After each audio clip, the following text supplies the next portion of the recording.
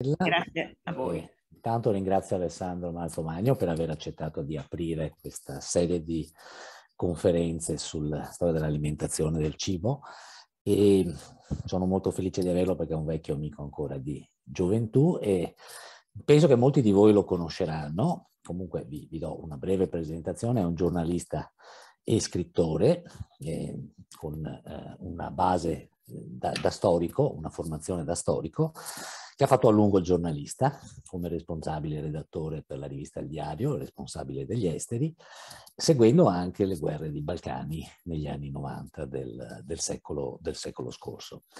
Come autore è molto prolifico, ha scritto moltissimo, 16 libri, alcuni tradotti in inglese, cinese, giapponese, coreano, eh, spagnolo.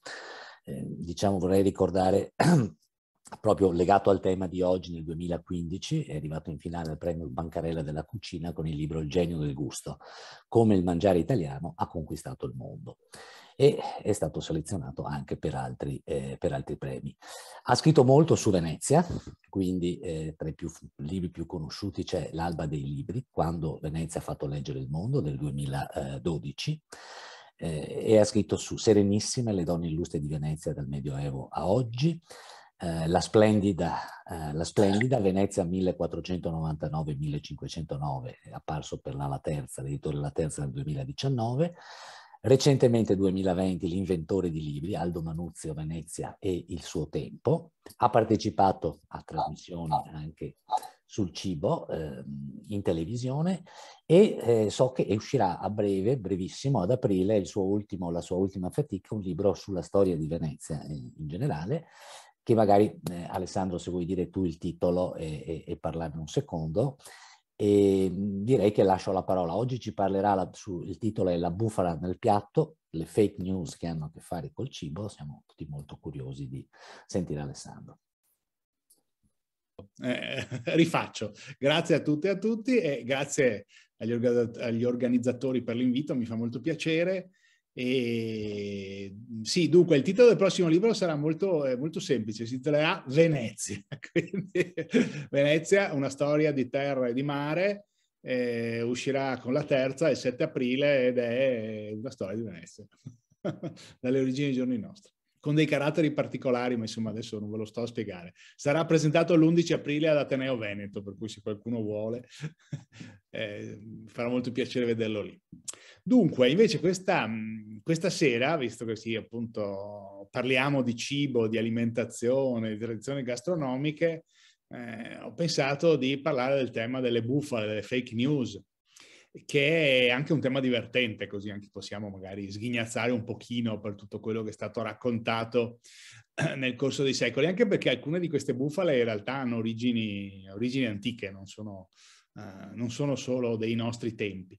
E beh, la considerazione di base è che eh, un po' occupandosi di storia, un po' in tutta la storia si vengono a scoprire tradizioni non vere, eh, invenzioni, leggende, a cominciare dalla nascita di Venezia il 25 marzo del 421, che è una bufala assoluta, ma la quantità di bufale che eh, c'è nella storia dell'alimentazione è, è, è enorme. Eh, non c'è quasi nulla di quello che noi raccontiamo, di quello che noi diciamo su, su, sulle tradizioni, sui piatti e sulla storia che sia vero. Ecco, qui è più, è più complicato nella storia della cucina eh, ritrovare storie reali rispetto a quelle, a quelle inventate. Tra l'altro anche perché molto spesso le storie inventate sono più divertenti di quelle, di quelle vere, no? Spesso la verità è banale e invece le leggende sono molto più belle, sono più divertenti, sono infiorettate e quindi ci, ci si diverte a raccontarle, che va benissimo perché poi fanno parte della tradizione anche le leggende, basta riconoscere che siano leggende, no? Eh, io per esempio mi batto strenuamente contro eh, la leggenda che il ferro della gondola che i sei denti del ferro della gondola rappresentino i sei sestieri di Venezia, che non è vero assolutamente nulla, anche perché ci sono fotografie di ferri con quattro o cinque denti, ma non riesco a cavare un ragno dal buco, perché è molto più divertente raccontare che i sei denti rappresentino i sei sestieri. Bene, Allora, volevo cominciare mh, mm, un po' con un argomento molto realtino, eh, che è quello delle spezie.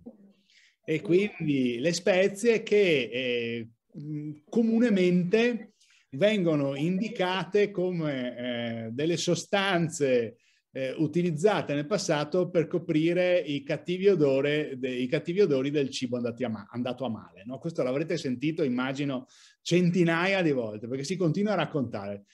E, ecco, e non è vero, non è vero perché eh, le spezie erano una, una componente eh, costosissima e quindi chi aveva uh, denaro abbastanza per garantirsi, eh, per comprare le spezie, aveva anche denaro abbastanza per garantirsi il cibo fresco.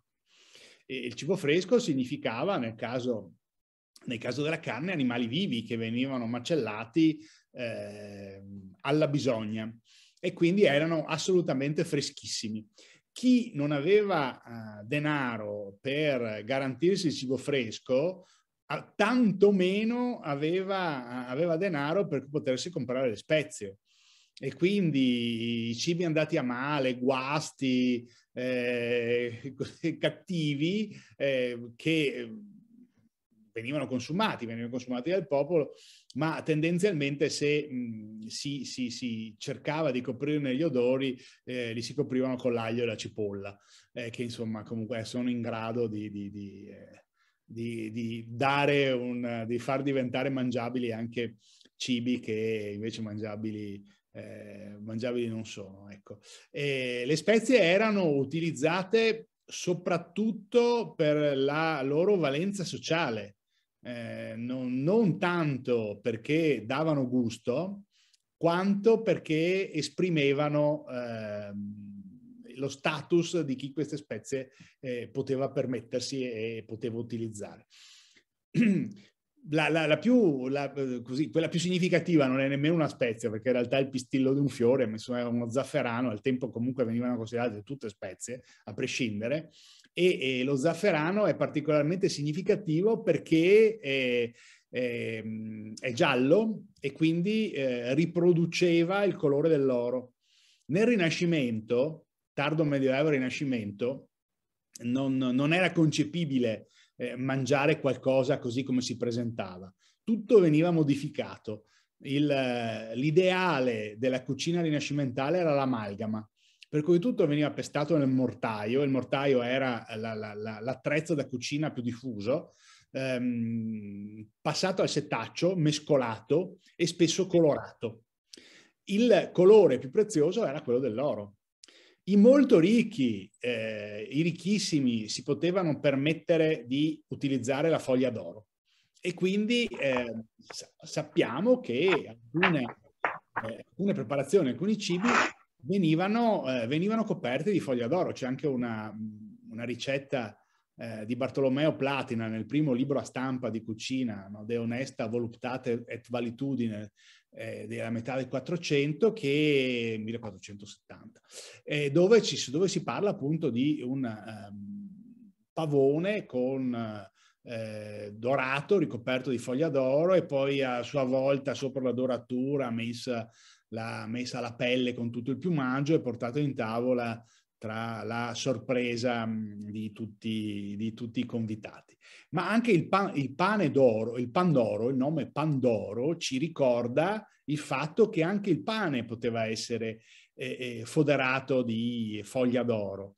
E abbiamo anche questo, in questo caso delle testimonianze che ci parlano di questi pani dorati, di questi pani d'oro da cui poi deriva il nome eh, Pandoro. Il, um, il, lo zafferano è un surrogato eh, sempre costoso, ma ovviamente meno costoso dell'oro, e che dava il colore giallo. E infatti, insomma, oggi è rimasto nel risotto alla milanese, no? che è questo piatto giallo e che in qualche modo eh, doveva richiamare l'oro. Quando Gualtiero Marchesi ha messo eh, una foglia d'oro sul risotto alla milanese, non ha fatto altro che riprendere una tradizione rinascimentale, anche se lui, devo dire la verità, che non lo sapeva perché gliene, gliene avevo parlato personalmente e, e, appunto mi aveva detto che non era a conoscenza di questa, eh, di questa tradizione. Ma mh, tutti eh, i piatti venivano, su tutti i piatti venivano, venivano sparse eh, spezie e zucchero anche, perché anche lo zucchero era un altro elemento molto molto costoso.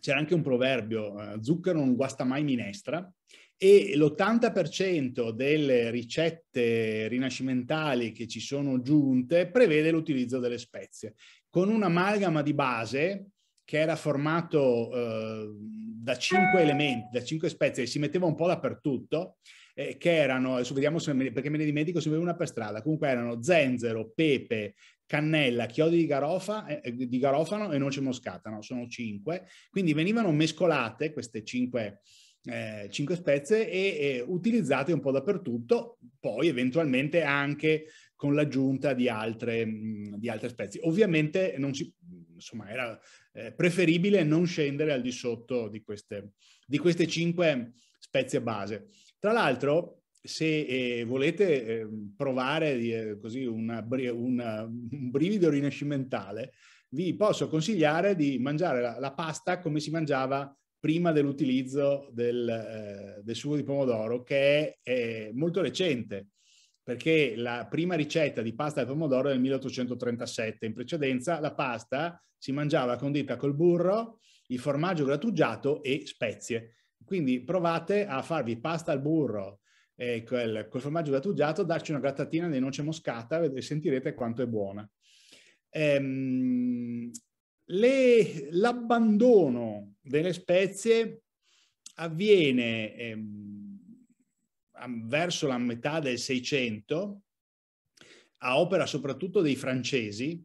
Ecco, questo forse non l'ho detto. Nel 500, che è il secolo in cui le, la, la, eh, l'utilizzo delle spezie è esaltato al massimo, eh, a, a, chi ehm, dava eh, dava il là alla cucina erano gli italiani. Il 500 è il secolo della cucina italiana, i, i, i, i principali titoli eh, di libri di gastronomia, di ricettari del 500 sono tutti eh, opera di eh, italiani.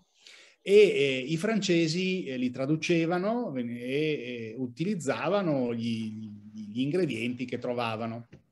Um, comincia un pochino il pepe a scendere di prezzo durante eh, la seconda metà del 500, durante il eh, 600, quindi non essere, non essere, più una spezia così eh, preziosa come invece poteva essere per esempio la noce moscata che era molto cara.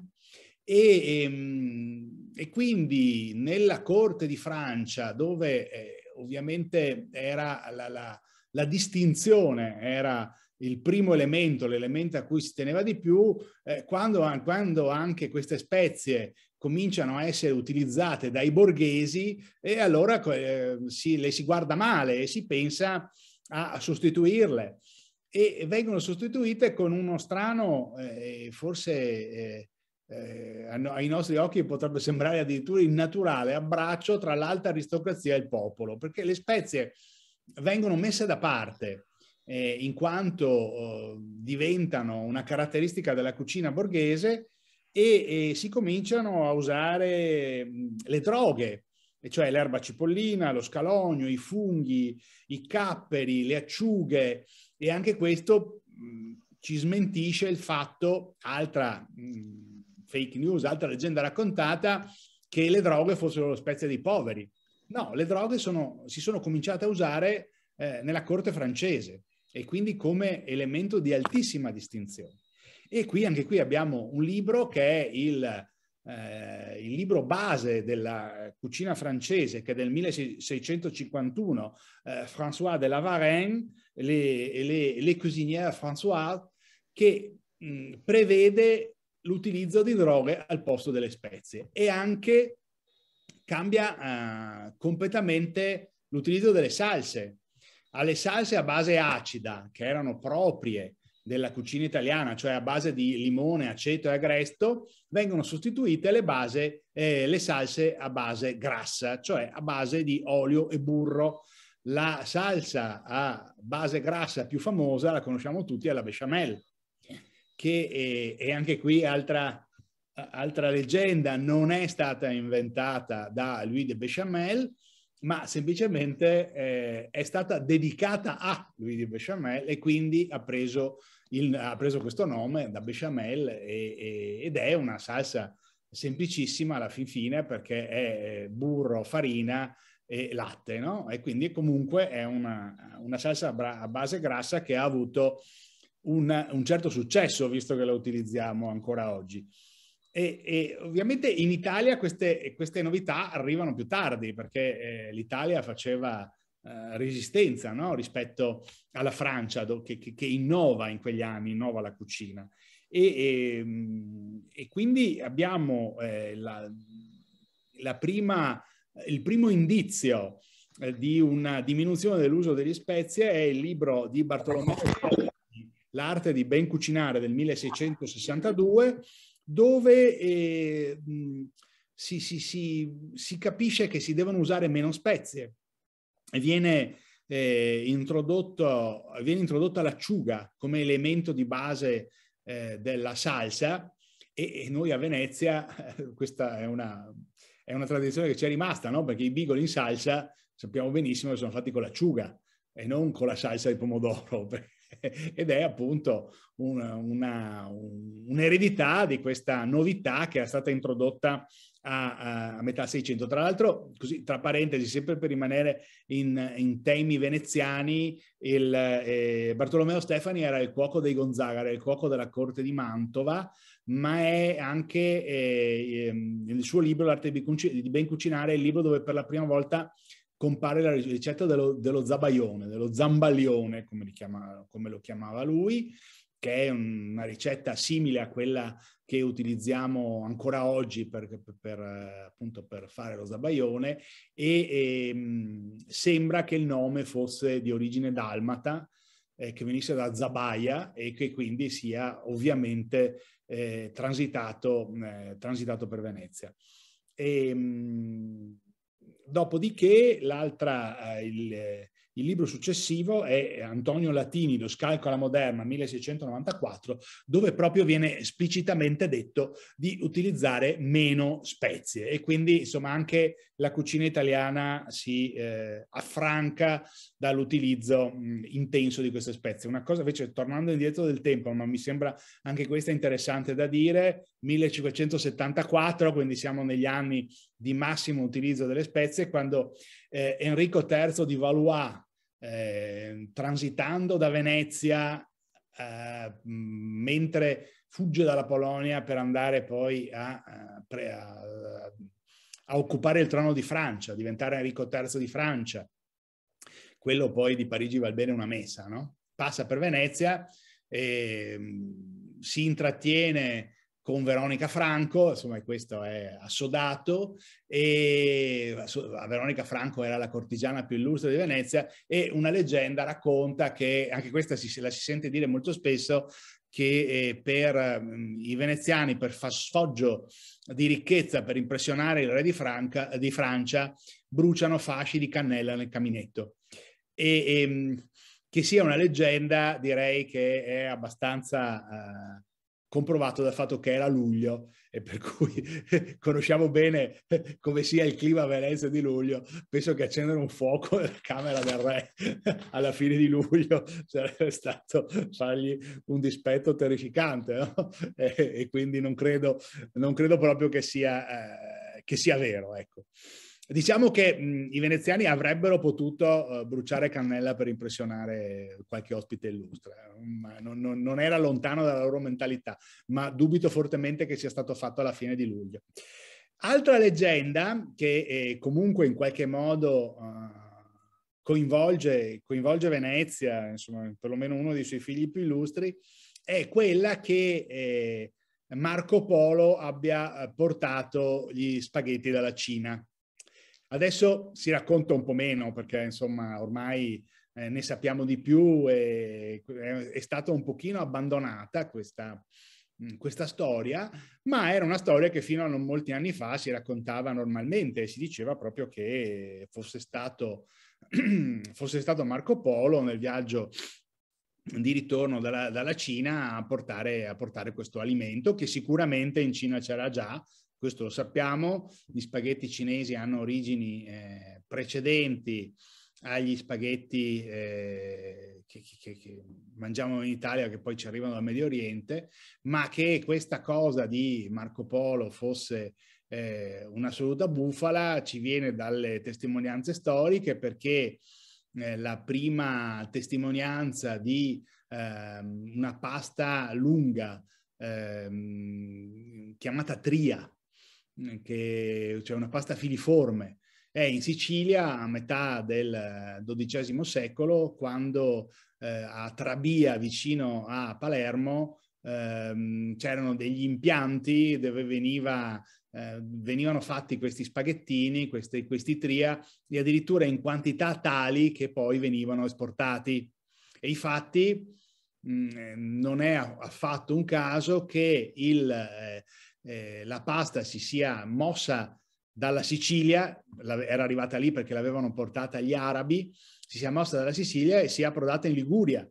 Infatti la eh, seconda testimonianza sicura di pasta e in particolar modo della, della parola maccheroni è genovese e siamo invece nel secolo successivo, quindi siamo nel 200, quando un notaio in un uh, inventario a casa di un poveretto che, che, era defunto annota anche una barisela plena di maccheroni e quindi siamo mh, siamo, siamo, attorno al 1270, per cui vent'anni prima che eh, eh, Marco Polo andasse in Cina.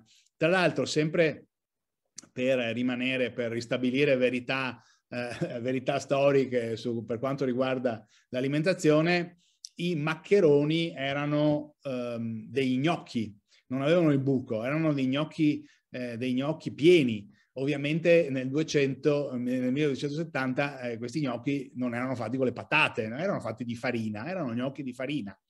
E, e dopodiché, quando questi gnocchi di farina si è cominciati a avvolgerli intorno a un ferro, non un ferro da calza, così, eh, poi si hanno, si cominciato, hanno, cominciato ad avere il buco e quindi sono diventati il maccherone eh, col buco come lo conosciamo noi oggi. Tra l'altro anche gli spaghetti Mm, eh, ritorno a quanto stavo dicendo prima, il nome spaghetti è abbastanza eh, recente perché seppur conosciuto eh, non, era, non, era, utilizzato perché il nome, eh, il nome, con cui venivano chiamati era vermicelli.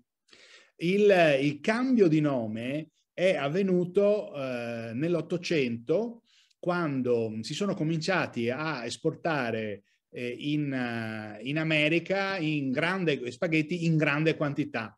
Ovviamente chiamare eh, questa pasta lunga Little Worms sarebbe stata una cattiva operazione di marketing e per cui si è cominciato a utilizzare eh, l'altro nome, cioè anziché chiamarli vermicelli eh, si, si, sono cominciati a chiamare intensamente spaghetti che era un nome molto più eh, utilizzabile e palatabile eh, palatabile in America. Il primo, il primo ricettario dove viene intensamente usato il nome spaghetti è proprio l'Artusio, 1891, dove eh, non, non, non, compare più la parola vermicelli, ma compare, eh, compare la parola spaghetti. Tra l'altro, sempre interessante sapere, sempre riguardante, alla, alla, riguardante l'America, che eh, il, eh, ehm, la pasta all'uovo portata dai tedeschi e la pasta mh, invece di semola portata dagli italiani erano considerati due alimenti completamente diversi e nemmeno fa- eh, parenti fra loro.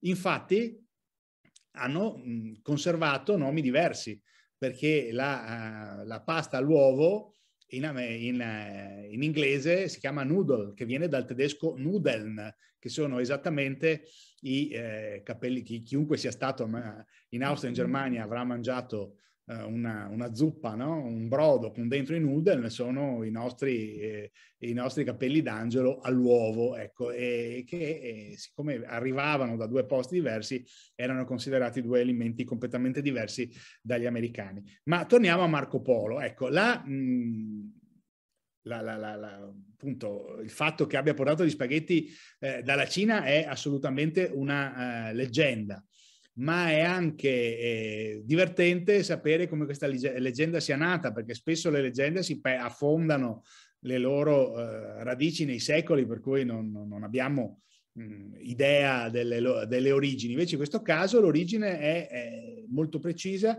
ha anche una data, l'ottobre del 1929, quando un, un, in un giornale americano eh, che era l'organo dei produttori di pasta degli Stati Uniti, che aveva il significativo nome di The Macaroni Journal, eh, compare un articolo, tra l'altro produttori che erano tutti di origine italiana, come potete facilmente eh, eh immaginare, ecco, compare un articolo senza firma, eh, quindi non sappiamo chi sia il colpevole, in cui si racconta la storia del ritorno di Marco Polo dalla Cina in, a Venezia.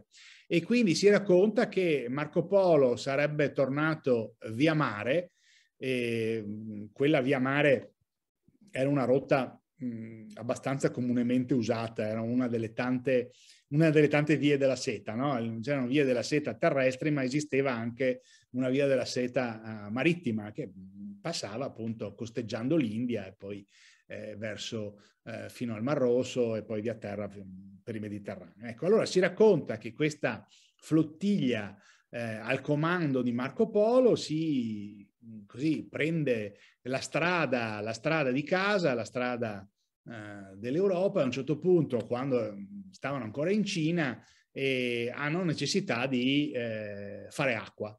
E questo era anche questa era una cosa molto normale, perché era, le, le navi al tempo venivano, eh, dovevano spesso fermarsi per rifornirsi di acqua di acqua potabile. E quindi eh, un, un, gruppo di marinai scende a terra, si spargono e, e um, un marinaio, insieme a alcuni suoi colleghi, un marinaio che si chiamava, guardate un po', Spaghetto, si ferma in un villaggio uh, della Cina e vede questi cinesi che mangiano spaghetti, dice, oibo, ma che, buona, che, ma che roba buona! E per cui Spaghetto porta questa, pa questa pasta a bordo della, della, nave, ma poi ha qualche problema perché non, non sapeva bene, eh, bene, come cucinarla, no? Per cui provano con l'acqua dolce e anche questo non può che essere una eh, clamorosa bufala, perché figuriamoci con la poca acqua dolce che c'era a bordo delle navi si potevano eh, permettersi di, di, di, sprecarla per cucinare la pasta, ma mai più. Comunque, questo articolo del 1929 racconta questa cosa, allora prova a cucinare l'acqua dolce, ma ovviamente viene fuori una, una schifezza perché non ci aveva messo il sale, poi colpo di genio, cuciniamola nell'acqua di mare, per cui tira sull'acqua di mare, bolle la pasta nell'acqua di mare che è salata e fantastica, che buona questa pasta e tornano tutti felici e contenti con, con questa pasta verso, verso, Venezia e portano eh, la pasta in Europa. Siamo nel 1929 e nove anni dopo, nel 1938, esce un, un film con Gary Cooper dal titolo eh, in inglese Le avventure di Marco Polo, che poi in italiano è stato tradotto con un titolo piuttosto fantasioso, eh, uno scozzese alla corte di Gengis Khan, e non si capisce bene perché abbiano, lo abbiano modificato in questo modo, comunque non ha importanza, e a un certo punto viene un pochino riprodotta questa, eh, questa scena, no? E, um, Gary Cooper va in un villaggio e vede eh, dei, dei, dei, contadini cinesi che mangiano, che mangiano questi spaghetti e gli, e gli domanda cos'è, cos'è, cos'è, quello, cosa sono quelli? E questo cinese gli risponde ma noi li chiamiamo spaghetti e quindi dopo l'articolo e soprattutto dopo il, dopo il film eh, la leggenda diventa realtà e quindi il fatto che eh, Marco Polo abbia portato gli spaghetti dalla Cina è, è una, insomma, una, una, storia che tiene banco per parecchi decenni, insomma, parecchi decenni si è continuato a credere, eh, a credere questa cosa. Eh, volevo fare una piccola annotazione. Se qualcuno ha domande, c'è la chat, e se qualcuno ha domande mi interrompa pure, eh. Magari le può scrivere in chat così eh, io rispondo molto volentieri, senza aspettare la fine, eccetera, eccetera. Se vi viene in mente qualcosa, eh, domandate pure. E, ehm, mh, altra leggenda, sempre legata agli spaghetti, che anche questa è, la trovo piuttosto divertente, è, è quella sull'origine della carbonara gli spaghetti alla carbonara. E qui più che divertente è, è pericolosa perché se si, se si, discute di questo argomento a Roma eh, si, rischia, si rischia di provocare reazioni ferocissime.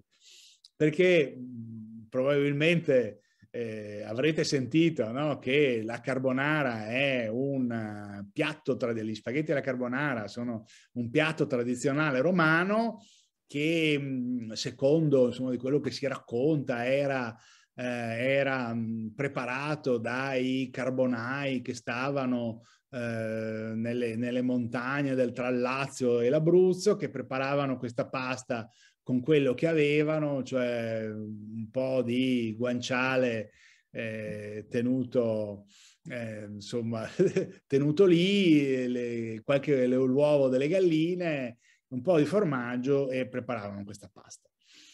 Non è vero niente. Non è vero niente. Eh, non esiste, eh, a parte il fatto che le, le, le, i polli, le galline erano alimenti molto costosi, molto preziosi, per cui è molto improbabile, eh, anche se non impossibile ovviamente, che i carbonari avessero uh, con sé delle galline, ma a parte questo discorso, non c'è nessuna testimonianza di questa preparazione precedente alla seconda guerra mondiale. La prima ricetta conosciuta di, eh, di la carbonara è stata pubblicata dalla cucina italiana nell'agosto del 1954 ed è una cosa che ha mm, molto poco a che fare con la carbonara che conosciamo noi oggi.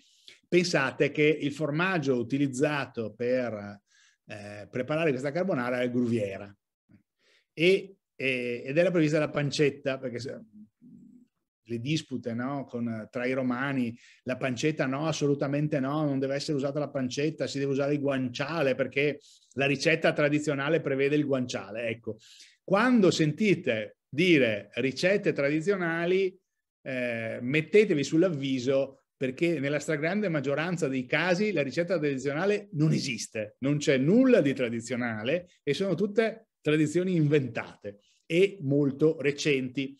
L'ipotesi più probabile e più accreditata è che la pasta alla carbonara non sia nient'altro che il breakfast degli anglo-americani trasformato in eh, condimento per la pasta.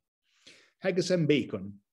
E, mh, c'era anche una, un padre che è un, un, cuoco bolognese di nome Renato Walandri, che è morto quasi centenario di recente, pochi anni fa, mi sembra nel 2018, che eh, addirittura aveva raccontato eh, che eh, durante la risalita dell'ottava armata britannica lungo l'Adriatico vi prestava eh, servizio in un albergo di eh, Riccione e quindi un albergo dove era stato eh, dove era stato installato un comando dell'ottava armata e un generale canadese gli ha fatto avere in cucina eh, eggs and bacon e latte condensato e, e, molto probabilmente perché all'indomani preparasse il breakfast e invece questo cuoco invece di preparare il breakfast ci ha condito la pasta.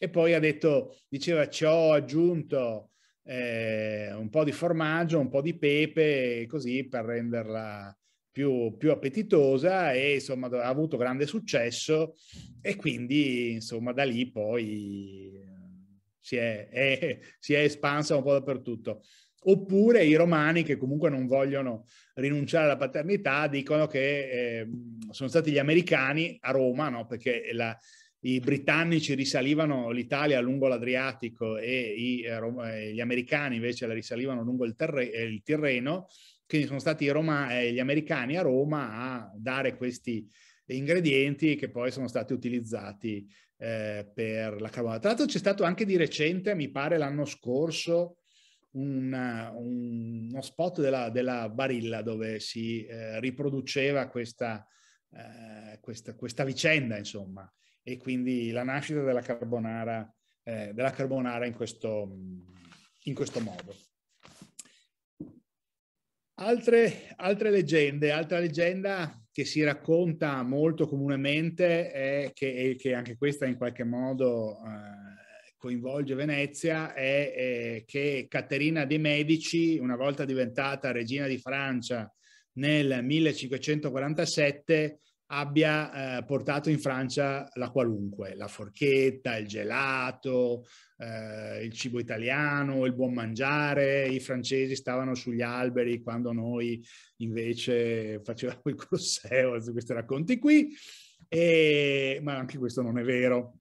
Ai noi non c'è nessuna prova che Caterina de' Medici abbia, eh, si fosse portata cuochi da Firenze, anzi è abbastanza certo che eh, i cuochi di corte erano francesi e semplicemente come siamo appunto a metà del Cinquecento, come vi accennavo prima, eh, utilizzavano i, eh, i libri eh, i, di cucina italiana tradotti, perché i maestri della cucina nel Cinquecento erano, erano italiani e quindi insomma, utilizzavano questi testi e la, la, base della cucina di corte era, una, uh, era la cucina italiana.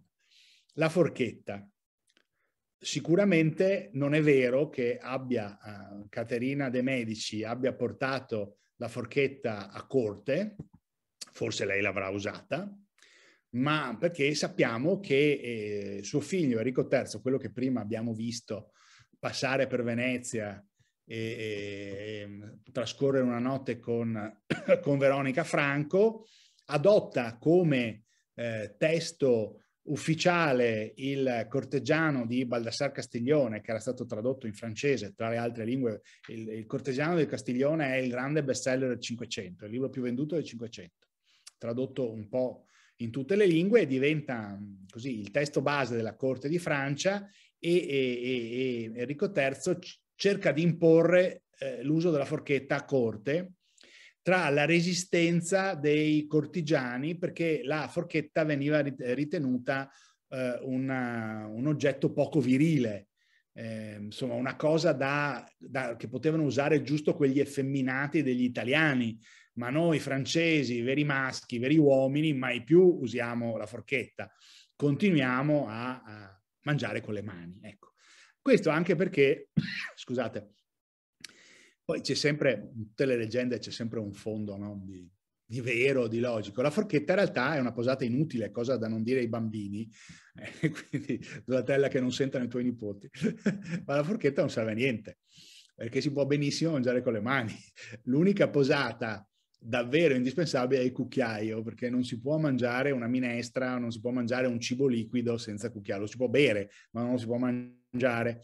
E se ci pensate, eh, i popoli che usano le bacchette, cioè cinesi e giapponesi, hanno il cucchiaio, perché le, le, le zuppe le mangiano col cucchiaio, non, non, non con le bacchette.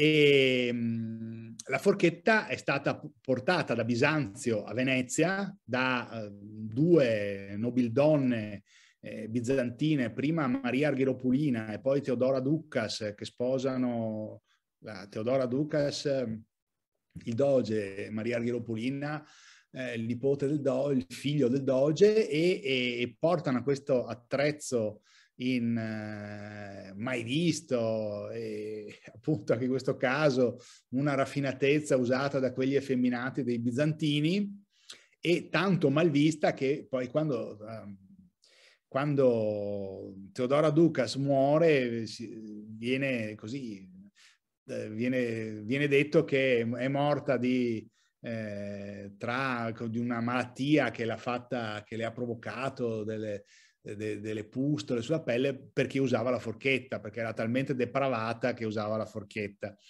E anche qua si racconta che poi fosse stato San Pier Damiani a scrivere, ma San Pier Damiani era già morto, per cui era stato qualche altro, eh, qualche altro predicatore. Comunque, insomma, è vero che la, la, la, questa forchetta era guardata malissimo e, e, e ci mette molto a essere, eh, a diffondersi, a essere eh, utilizzata un po', un po', in tutta Europa.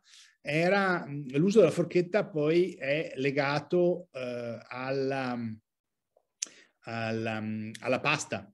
La pasta è un alimento eh, viscido e caldo che quindi con le mani si prende male e oltretutto scotta e quindi mh, è utile, la forchetta è utile per mangiarla. E infatti la forchetta che, eh, eh, la forchetta che, viene, che arriva da Bisanzio con ogni probabilità aveva due rebbi. La forchetta che si usa a Venezia ne ha tre e molti di voi probabilmente hanno presente il servizio San Marco, no? che ha una forchetta a tre rebbi. Nel XVIII secolo a Napoli viene aggiunto il quarto, il quarto rebbio perché eh, eh, con la forchetta a tre rebbi si va male ad avvolgere la pasta lunga. Se provate a mangiare gli spaghetti con la forchetta del San Marco andate malissimo. Bisogna avere quattro rebbi perché con i, con i quattro rebbi si va, si va, molto meglio a girare gli spaghetti, a meno che non li mangiate col cucchiaio, ma presumo che insomma se siete qui ad ascoltarmi abbiate imparato a mangiare gli spaghetti solo con la forchetta e quindi non usiate il cucchiaio e quindi conseguentemente si, usano, si usa la forchetta, eh, la forchetta a quattro, a quattro rebbi. In Scozia cioè posto dove eh, lì si stavano ancora sugli alberi, la forchetta arriva soltanto nel Settecento, cioè fino al Settecento non, non, non, si usava. In Inghilterra la porta Thomas eh, Croyac, che è questo viaggiatore mh, inglese della fine del Cinquecento che pubblica questo libro eh, nel 1608, che eh, Crudità, in cui racconta di questo suo viaggio in Italia ed è, ed è anche la persona che materialmente porta, porta questa, eh, questo aggeggio sconosciuto in Inghilterra, quindi siamo all'inizio del Seicento tra la grandissima eh, sorpresa, eh, sorpresa, degli inglesi. Mm, addirittura se ci mette svariati secoli per viaggiare eh, geograficamente, ci mette la forchetta, ci mette ancora di più per, per viaggiare eh, tra le classi sociali, perché in un'inchiesta fatta agli inizi del Novecento in provincia di Treviso, quindi insomma parliamo di 30-40 km di distanza con Venezia, e, e le, i contadini raccontavano che non usavano la forchetta, che mangiavano con le mani. Per cui se, ci, se per viaggiare da Venezia alla Scozia ci mette dal XIII eh, al XVIII secolo, quindi ci mette cinque secoli, per viaggiare dal, dall'aristocrazia alle classi popolari ci mette, ancora, ci mette addirittura un altro secolo in più, perché soltanto poi dopo, con, con, dopo la prima guerra mondiale, insomma, con, quando avvengono questi grandi rivolgimenti sociali, poi la forchetta diventa di uso generalizzato anche nelle, tra le classi popolari, tra i contadini del, eh, del Veneto. Mm, allora abbiamo detto eh, cucchiaio, forchetta, un accenno al coltello, il coltello era, mh, mm, eh, si, usava per, si usavano dei grandi coltelli da caccia per scannare gli animali, per cui comunque sì, por- venivano, venivano portati a tavola veniva portata a tavola la selvaggina intera, tipo avete presente Asterix, no? che porta Obelix che arriva il cinghiale, ecco più o meno era una cosa del genere e quindi con i coltelli si scannavano e si facevano a pezzi e poi si mangiavano con le mani, ecco, quindi eh, l'uso del coltello individuale è molto tardo, come anche è tardo l'uso del bicchiere individuale, si beveva dallo stesso bicchiere, eh, del piatto individuale si mangiava in due, tre dallo stesso piatto, e quindi insomma l'evoluzione è stata questa.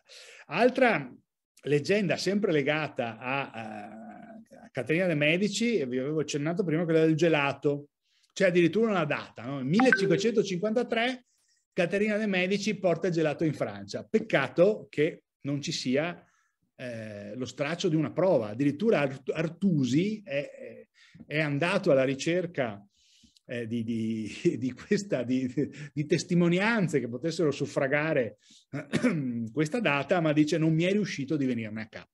Cioè non c'è assolutamente nulla che eh, ci provi che eh, Caterina de' Medici abbia portato il gelato in Francia nel 1553.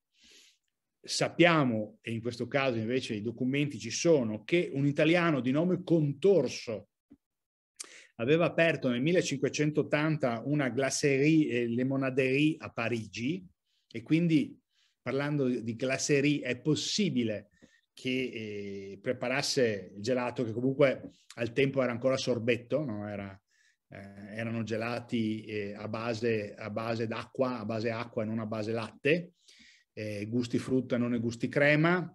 Mm, arriva, il sorbetto era arrivato così come la pasta in Sicilia dal mondo arabo, il nome sorbetto viene dal, dall'arabo al-sharbat e, e, mm, e, dopo diventa gelato al latte, ci sono già delle ricette settecentesche eh, napoletane in cui eh, si parla di sorbetta al latte, ma saranno soprattutto i, eh, i gelatai zoldani, i gelatai delle montagne del Veneto a utilizzare eh, gli ingredienti che loro conoscevano e che loro avevano, quindi eh, uova e latte e quindi si passa dai gusti a base acqua ai gusti a base, eh, la, a base eh, di latte e quindi dai, dalla frutta alla crema.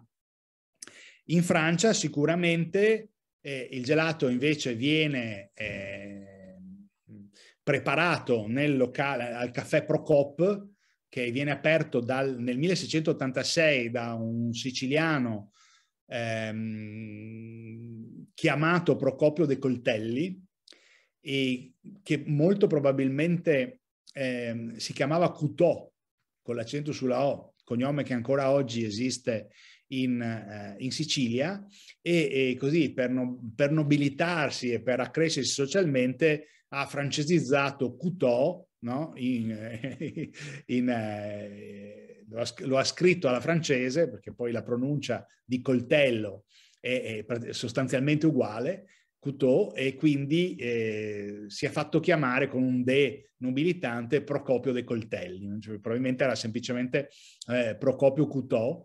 E mh, questo locale esiste ancora oggi, il eh, Caffè de Procop, ehm, eh, però è diventato un ristorante, questo non è più un caffè e questo poi fa sì, ha ceduto il primato al nostro caffè Florian, che è il caffè in attività uh, più antico del mondo. Ovviamente i francesi dicono di no, ma perché dicono che è il caffè Procopio, ma il caffè Procopio non è più un caffè, ecco, quindi è un ristorante. Sicuramente eh, Procopio di Coltelli è stato il, eh, il, primo a usare delle mantecatrici, delle mantecatrici molto, molto artigianali, fatte insomma delle, de, de, de, delle, macchine che servivano per girare questo, questo composto, per mantecarlo, per ten, mantenerlo morbido e quindi insomma poi così originare un po' tutta la lavorazione che eh, abbiamo ancora oggi de, de, de, nelle gelaterie, che appunto il gelato si ottiene attraverso macchine eh, mantecatrici, delle quali l'Italia ha il, eh, è leader produttrice nel mondo attraverso la eh, società che probabilmente tutti avete sentito nominare, la Carpigiani, che è il leader della, produ- leader della produzione di macchine da gelato nel mondo. Ecco, eh, vi dicevo appunto che prima eh, la, uh, la leggenda di Marco Polo ha una data di nascita e una data di nascita ha anche la leggenda eh, del fatto che la eh, eh, Wiener Schnitzel sarebbe nient'altro che una copiatura della cotoletta alla milanese. Questa è una fiaba che viene raccontata, pensate che la raccontano anche a Vienna ormai, perché poi vi spiego il meccanismo, ma è diventata di, di dominio pubblico un po' in tutta Europa e si racconta che eh, il maresciallo Radeschi avesse mangiato questa buonissima specialità milanese e, e l'avesse insegnata ai cuochi di corte della Hofburg, i quali poi hanno cominciato a riprodurla, dando così origine alla Wiener Schnitzel. Il fatto che sia una balla colossale è provato eh, dal, dal, particolare che la prima ricetta di Wiener Schnitzel è datata, con questo nome ovviamente, è datata 1833 in un libro di, eh, in un ricettario eh, stampato a Praga, in un ricettario in lingua tedesca stampato a Praga. Praga era una città di lingua tedesca, no? Kafka praghese scriveva in tedesco, ecco. e quindi anche questo ricettario era in lingua tedesca.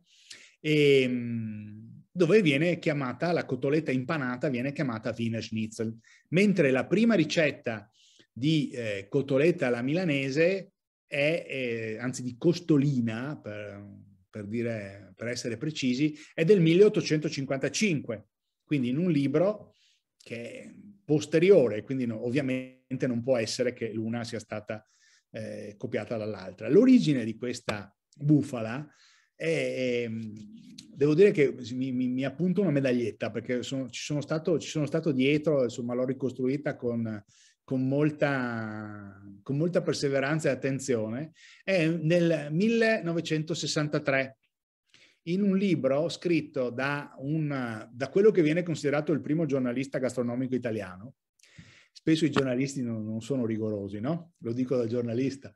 E quindi questo signore nel 1963 pubblica un libro intitolato La cucina lombarda, dove racconta questa storia.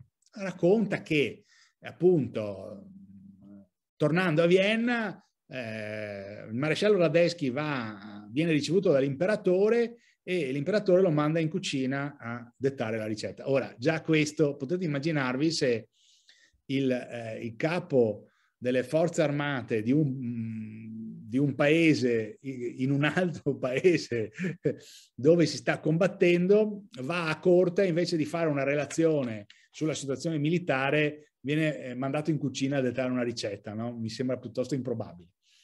E però, insomma, questa cosa viene scritta. Dopodiché, siamo nel 1800, eh, 1963, 1969, questo Vincenzo Custolo, eh, Cunsolo, scusate, eh, milanese di origine siciliana, viene incaricato dal Turing di ehm, curare la nuova edizione della guida gastronomica d'Italia del Turing. E quando arriva alla Lombardia, cosa fa Vincenzo Cunsolo? Eh, scrive della cotoletta alla milanese, citando la cucina lombarda, ma senza precisare che citante e citato erano la stessa persona. Quindi dice, come scrive la cucina lombarda? Due punti, virgolette, e la storia di Radeschi. Nel 1972-73 la, eh, l'autorevolissima, perché è autorevole, anche se ci possono essere scritte cose sbagliate, l'autorevolissima guida gastronomica d'Italia del Turing viene tradotta in tedesco. E quindi questa leggenda entra a far parte anche del mondo di lingua tedesca. E quindi è successo anche a me eh, quando sono stato a Vienna, ma eh, se voi andate a Vienna è possibile che le guide turistiche vi dicano che Vienna, capitale di un grande impero multietnico e multinazionale, ha preso le sue specialità gastronomiche da varie parti della monarchia e quindi ha preso il goulash dall'Ungheria, che è vero, ha preso le palacinche dai Balcani, altrettanto vero, e la cotoletta da Milano, che non è vero. E lo prova a sua volta il fatto che Gulasch e Palacinche hanno conservato il loro stesso nome e si chiamano così anche a Vienna, mentre la, la cotoletta si chiama Wiener Schnitzel. La cotoletta alla milanese ha origini francesi, ed è proprio possibile eh, ricostruirne il percorso perché attraverso dei ricettari eh, settecenteschi francesi poi tradotti in italiano c'è la stessa ricetta che è una ricetta di cotoletta impanata prima alla griglia e poi anche fritta che viene eh, passa da eh, Parigi al Piemonte con la, cucine- la, cuciniera piemontese. La cuciniera piemontese, siamo nell'Ottocento, è la traduzione di un libro eh, di, di, cucina francese eh, settecentesco.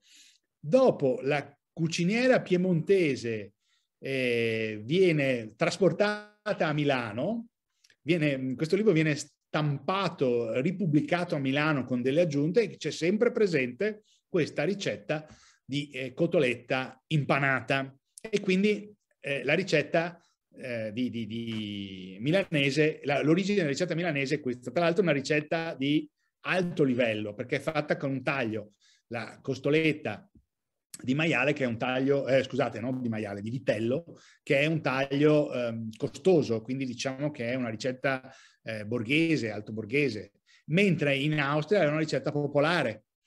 In Austria si usava impanare, si usa ancora, eh, le prime mh, testimonianze di impanature sono dell'inizio del Settecento, del 1719. Si impanavano le verdure, si impanava il pollo, pollo fritto, e poi si cominciano a impanare delle fette di coscia di manzo e di vitellone. E un taglio ovviamente molto meno eh, prezioso e costoso rispetto alle, a, alle costolette.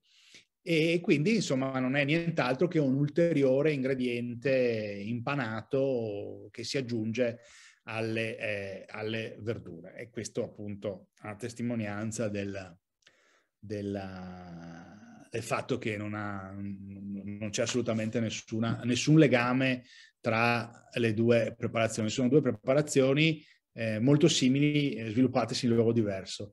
Un po' come è molto probabile che siano gli spaghetti cinesi e gli spaghetti, e gli spaghetti nostri. Io vedo che ho già parlato quasi un'ora. L'ultima cosa così per eh, rimanere in argomento veneziano, il gazzettino, eh, scusate, il gazzettino, il tramezzino, c'era un'assonanza, il tramezzino, che ne ho scritto sul gazzettino, il tramezzino è dove è nato a Venezia, a Torino, a Mestre, insomma è difficile stabilirlo, non si sa con precisione, ma sicuramente eh, non è stato inventato, come eh, si dice, come si racconta da Gabriele D'Annunzio, per, eh, oppure battezzato da Gabriele D'Annunzio per il caffè Mulassano di Torino. Il caffè Mulassano a Torino rivendica la paternità del tramezzino e dice che poi negli anni 20 insomma, era passato eh, D'Annunzio e lo aveva, lo aveva battezzato tramezzino.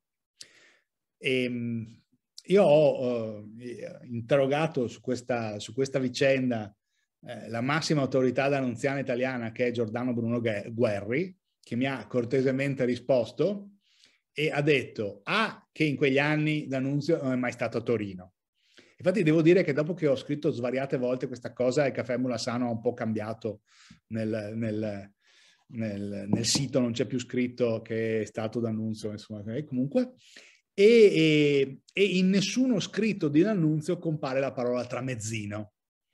Quindi il, la, il, fatto che sia un nome d'annunziano è, è così, è una traduzione inventata, è una tradizione inventata.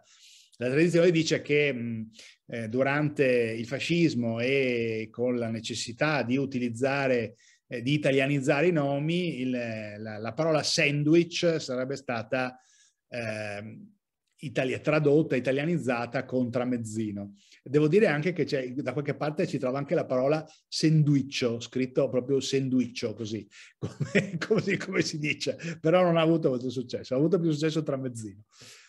Non lo sappiamo. Ecco, lo sappiamo, eh, anche qui la prima, eh, la, l'uscita ufficiale del tramezzino è una pagina della, perlomeno quella che sono riuscito a trovare, perché poi, come sempre, eh, nella ricerca storica eh, si, siamo, si, possono sempre fare nuove scoperte, no? Ma insomma, per il momento sono trovato due cose, una del 35, un articolo del Corriere della Sera che parla della, del viaggio inaugurale di una, di, una nave, di una, nave, passeggeri dove si mangiavano tramezzini e poi una pagina della cucina italiana del 1936 dove c'è un'intera pagina dedicata ai tramezzini che sono proprio eh, triangolari eh, come li conosciamo noi oggi, ma senza alcuna ehm, specifica sul luogo d'origine, insomma, semplicemente così dei, dei, degli intermezzi. Probabilmente il nome viene da, eh, da entremets, dal francese entremets, tramezzo.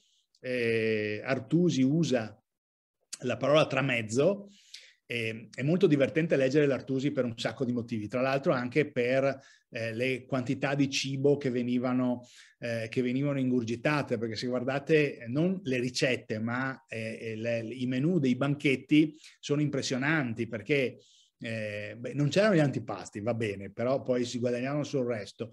In tutti mh, era previsto che ci fosse un primo, che ci fosse il pesce, dopo il pesce il sorbetto e poi ci doveva sempre essere la trinità della carne, cioè arrosto, fritto e bollito nello stesso, nello stesso pasto. Per ammazzare il tempo tra una portata e l'altra c'erano gli entremets eh, chiamati da... Uh, eh, da Artusi tramessi e questi tramezzi o tramessi erano per noi un pasto unico, tipo gnocchi alla romana oppure anche le lasagne. Ecco, pensate voi, tra, non so, il, eh, una, una, un servizio di carne arrosta e un servizio di carne bollita, in mezzo vi portavano una lasagna, così tanto per gradire. Ecco. Quindi il piccolo tramesso, eh, tramezzo diventa il eh, tramezzino, però poi dove sia nato e chi l'abbia inventato, eccetera, eccetera, non si sa. Non ho più tempo per parlare dello spritz, faremo la prossima volta. Comunque se ci sono domande, ovviamente siamo qui. Molte grazie Alessandro e sì, sentiamo un po' le domande, vediamo da parte del pubblico cosa... Un cenno ai cicchetti veneziani lo può fare. Beh, anche questa è una, è una tradizione che si, si, si, si perde nella notte dei tempi. Eh, e chi, chi se li ha inventati, Cicchetti? Non lo so. A me piace pensare, ma è una mia idea, eh, che siano stati portati a Venezia dagli armeni, è una tradizione armena, è quella dei mezè, che sono esattamente delle piccole cose, dei piccoli bocconcini che venivano, che vengono tuttora eh, mangiati dagli armeni con l'aperitivo, ma dagli armeni poi insomma più in generale anche eh, in, in, tutto il Medio Oriente, ma insomma proprio una tradizione armena e siccome sappiamo che a Venezia c'era un'importantissima comunità armena, non a San Lazzaro, eh, perché l'isola di San Lazzaro è settecentesca, ma a, a, a, nelle mercerie eh, in Cale Fiubera, dove c'è anche la chiesetta di Santa Croce degli Armeni. Ecco lì tutto quel blocco, quel, quel grande edificio che esiste ancora oggi, Calle degli Armeni, eh, appunto la chiesa di Santa Croce degli Armeni, era il quartiere armeno di Venezia e quello era medievale perché abbiamo insediamenti armeni già, da, lo sappiamo per certo, già dal 200. Nel 1512 viene stampato a Venezia il primo libro armeno della storia e gli armeni mangiavano i mezzè, poi se eh, i cicchetti derivino dai mezzi armeni non lo sappiamo, insomma a me piace pensarlo.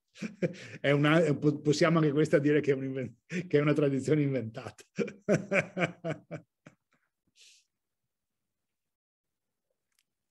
Altre domande o osservazioni?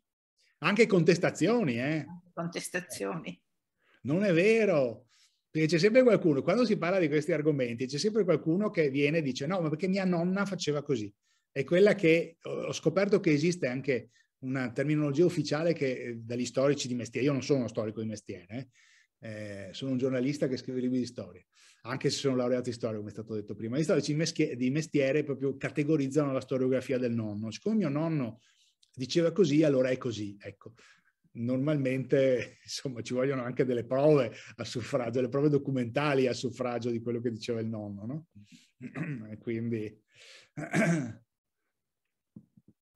E c'è un intervento da Facebook, Stefano Croce, che ringrazia Alessandro e chiede se può dire qualcosa sul termine baccaro. Certo. Eh, no, perché non, non, non ne conosco l'origine. quindi non posso dire niente. Cioè, sarà un, è un mio limite perché immagino che esista una, un'etimologia, ma non, non, non, mi è nota. Mi preparerò così la prossima volta che Stefano Croce me lo domanda non mi coglie impreparato. Posso chiedere eh, l'origine del detto risi e bisi magnar da dogi? Eh, anche questa è un'altra leggenda, che ah, il sì? doge, sì, che il doge il giorno di San Marco mangiasse risi e bisi.